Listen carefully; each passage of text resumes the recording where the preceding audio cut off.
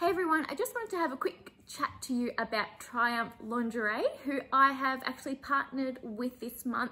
And in particular, I have been given um, a bra that I chose, which is wire free. And if you didn't know, I actually um, go wire free always now. And it started a little while ago, probably about eight years ago, when I thought I would give give it a go. Um, it was after I had my first son. And it felt like I had gotten home and you know when you take your bra off and you're at your most comfiest?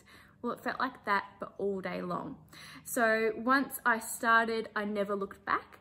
Um, I actually have quite small breasts. So for me, um, I felt like the, um, the underwire bras annoyed me a little bit here and here. Um, and I go wire free. So if you're looking for a wire free bra and you're in the market, um, this one is So Beautiful by Triumph.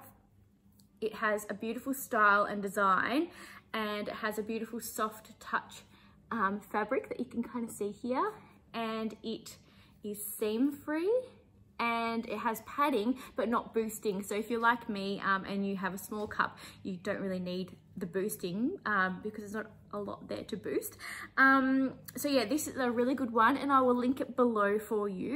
But also for um, women that are many different sizes and shapes and that prefer any style. There's so much on the Triumph website that and in store that you can choose.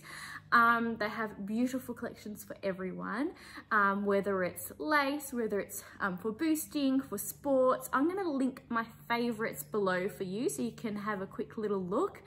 Um, so yeah, if you are like me and you like wire free, they have this beautiful one um, but they also have so many beautiful pieces. So have a little look.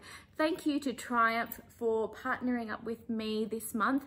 Um, they also have some amazing um, seamless underwear, which I swear by. So I'll link some of those below as well.